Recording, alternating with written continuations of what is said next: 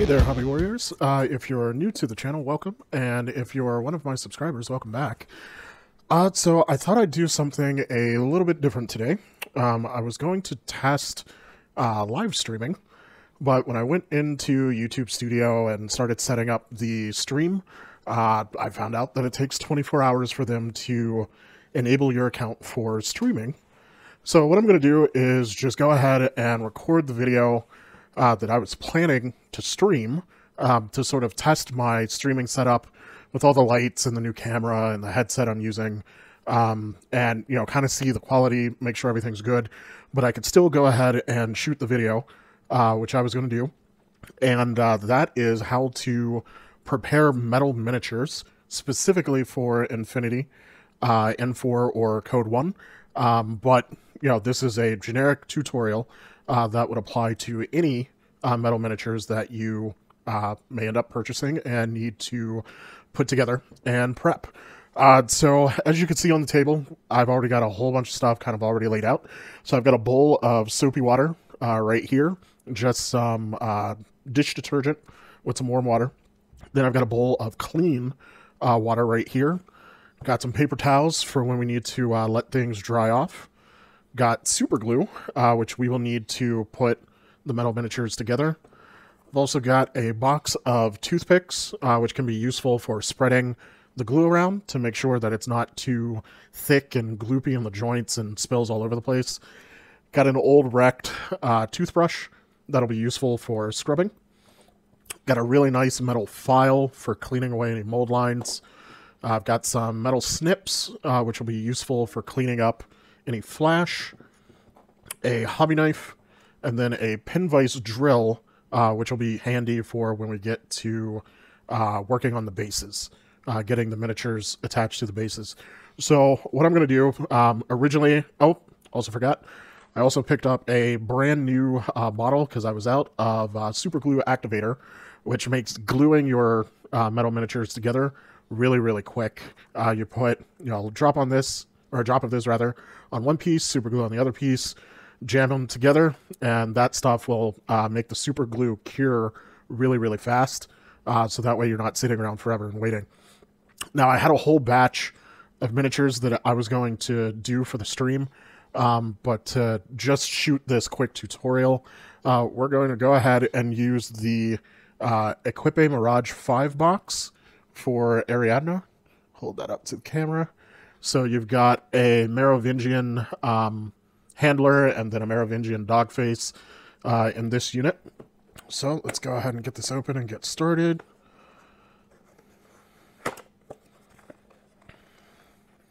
Now, while I'm opening this, if you have any of the old uh, Corvus Belli terrain packs, the thin cardstock, these unit boxes, you want to save them because you can stick these inside of those buildings uh, to reinforce them.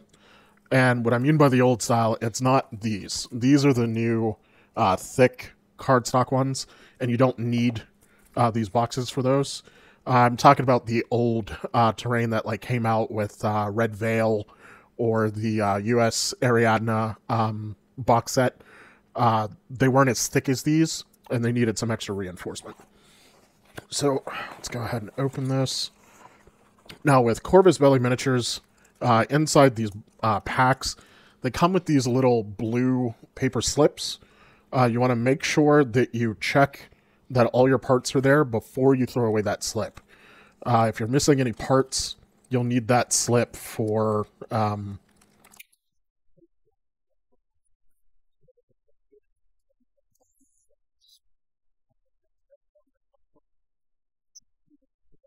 and we've got our bases uh, which are the the new line of fire bases.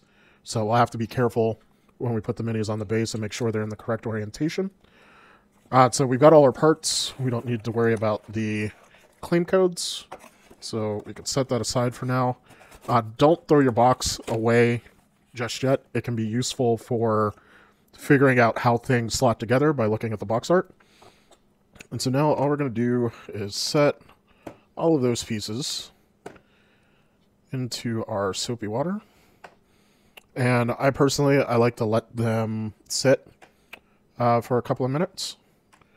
So we'll go ahead and let those soak, and then we'll be right back. All right, so we're back. I let those sit uh, roughly about uh, five minutes. It doesn't take too long for the degreaser in the dish detergent to start breaking down the mold release agent uh, on the, the metal parts.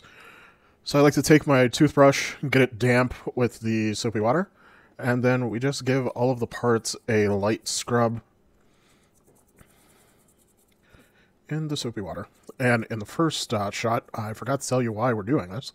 Uh, and that's because as part of the casting process, the uh, molds will have some sort of an oily, uh, greasy substance uh, sprayed into them before the molten metal goes in to help the finished part uh, pop right off of the mold. So some of that residue will still be on the miniatures and we need to get that off before our primer and our paint and our glue uh, can uh, bond to it. So all it takes is a little soak and a little scrub. All right, so that's everything washed off. Now we're going to take some paper towel and put it down on our work surface. Uh, I like to use super absorbent paper towel, and then I'll normally do two layers just so that it'll help wick away all of that water uh, pretty quickly. I kind of give them a good shake, get all of that soap off, and just put them on the paper towel. And now I like to uh, keep the minis together. So I'll normally only wash like one or two at a time, uh, get them on the paper towel, and then do the, the next couple, just so that I can make sure that I'm not mixing up parts and another tip while I'm doing this, just to kind of take up any dead audio space, uh, when you're prepping your bowl of soapy water, um, take the excess bubbles off, like scrape them off with your hand, uh, so that way you can see the bottom of the bowl uh, to make sure that you're not leaving any parts in the uh, in the water. So now we're gonna walk away, let those dry off for a little bit. If you were in a hurry, you could take a, uh, a hair dryer and blow dry them uh, but it's a lazy Sunday evening, so I'm not in a hurry. Uh, so we're going to go ahead, take a little break, and then come back, and we'll start uh, prepping them and get them all glued together. So these aren't completely dry, but I'm impatient. And the, the next part, we're not going to glue them right away. So the next part, we can still do while it's wet. So I don't know if you guys can see this on camera. I might try and zoom in on uh, uh, in the editing or maybe show you guys another unbuilt model. Uh, but there will be uh, little bits of flash and some of the um, injection vents where they feed the, the metal into the mold. And they'll leave a little bit of that connector connected to the model. And we need to snip all of those away so that we're able to um, glue the mini together and get a proper uh, tight fit. So you want to go around your mini and use your metal snips and just go ahead and uh, clean all of that off. Now, there will be um, a little bit of metal left over where you snip that off, and that's where you'll take your file and just file that down so that it's smooth. And now, if you don't do this filing bit, then your parts won't quite go together. And you can check how smooth that is with your fingernail. Um, you shouldn't hit any bumps. You should be able to run your fingernail across the whole surface and it should be perfectly smooth. And once you're done filing that, you can go ahead and test fit and make sure that you've got proper connection. And now for me here, this looks good in the back. It's not quite 100% seated down in the front.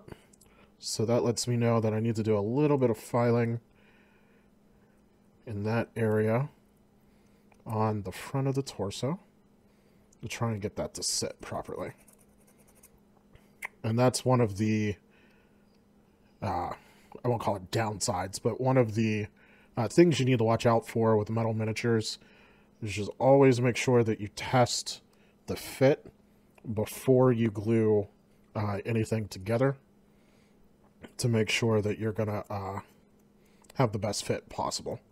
Because once you glue uh, the piece together, it can be a little bit of a nightmare to get it uh, unglued if you made a mistake. And now with a plastic mini, you know, you'd be able to do this with your hobby knife would be able to cut right through it. Uh, but with metal, you really need to use a file.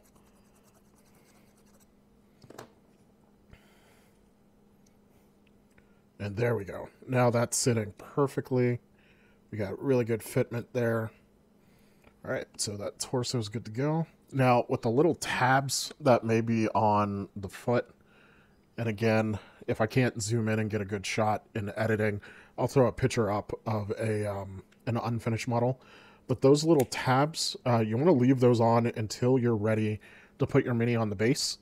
Uh, sometimes you can use the whole tab and stick that inside the base.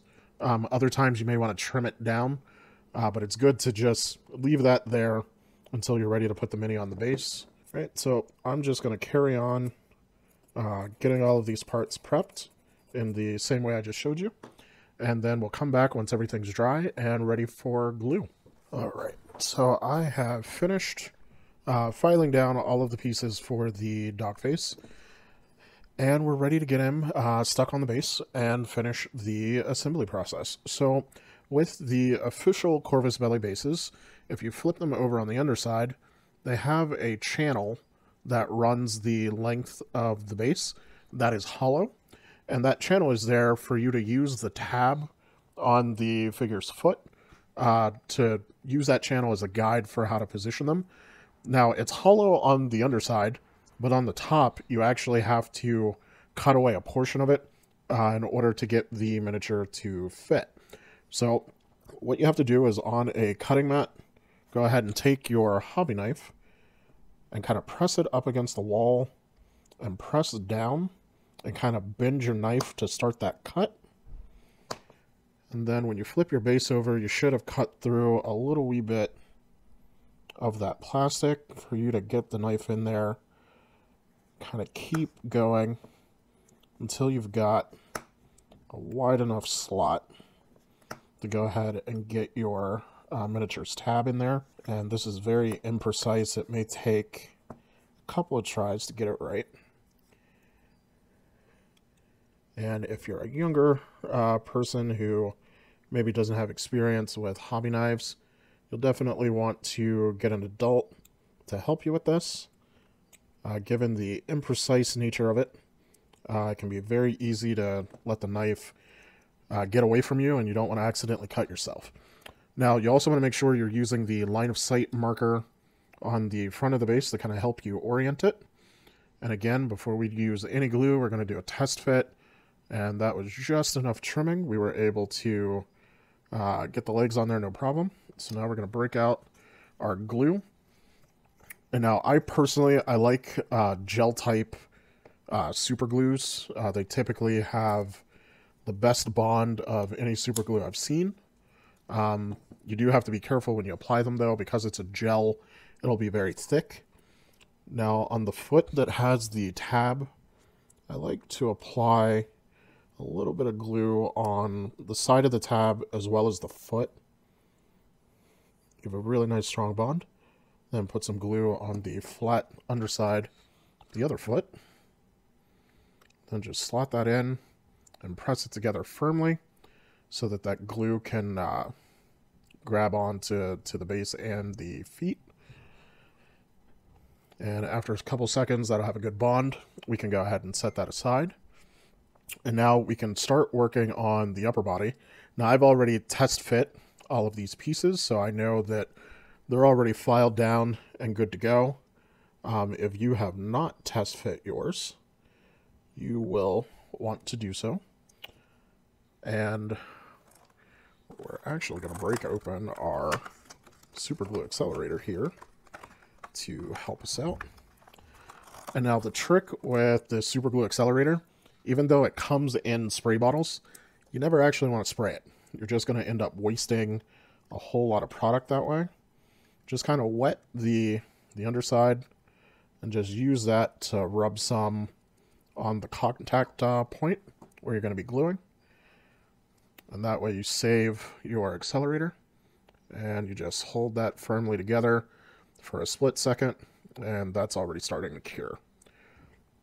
So we're going to go ahead and do the other arms in the exact same way. A little bit of glue on the arm. A little accelerator inside the join. And just hold it there for a second. And that should be rock solid. And now, actually, now's a good time to go ahead and do the torso to the legs. And same deal, a little bit of our magic accelerator in there.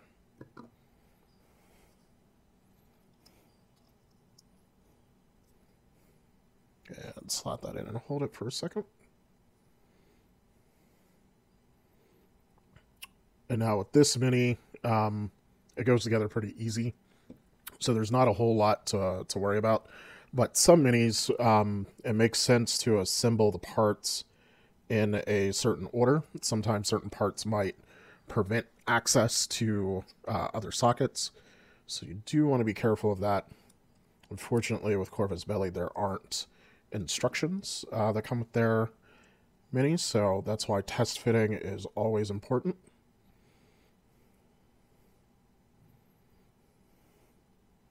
And that's in there and has a good hold. And then lastly, we've just got his tail. And actually, I lied. We've also got his backpack. Again, a little bit of accelerator inside.